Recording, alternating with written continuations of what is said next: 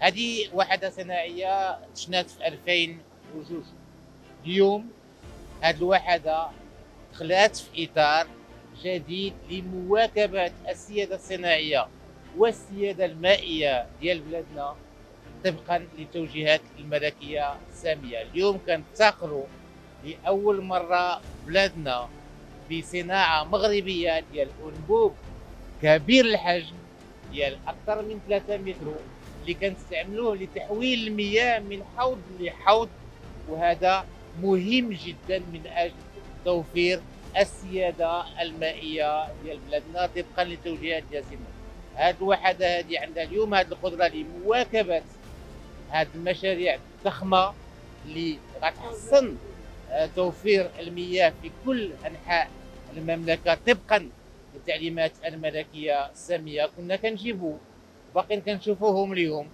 انابيب من بلدان أخرى تركيا والهند واليوم الحمد لله بفضل هذا الاستثمار المغرب قادر على توفير الحاجيات ديالو في هذا المجال بكل التوفيق لهذا المصنع.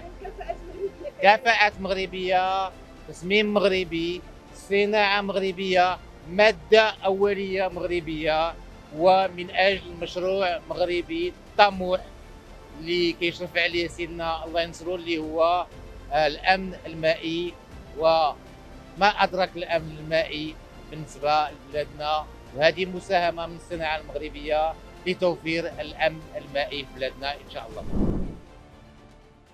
الحمد لله بعد بفضل التوجهات الملكية والإجهاد المائي الذي تعرفه آه، المغرب رأينا أن نسرع بهذا المشروع والحمد لله لتنجز في أقرب في أقرب وقت بكفاءات مغربية وب وبمادة أولية مغربية وعلى بركة الله. اذا الاستثمار مهم هذا في عز المنطقة هذه في عز الصناعة المغربية. نعم من استثمار مهم واستراتيجي لابد يكون في البلاد